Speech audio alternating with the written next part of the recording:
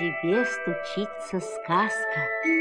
И если ты умеешь мечтать, то за первой сказкой пожалуй вторая, третья, четвертая. Об этом позаботился старый мудрый сказочник. Крибле, крабле, бумс. Есть тут кто-нибудь?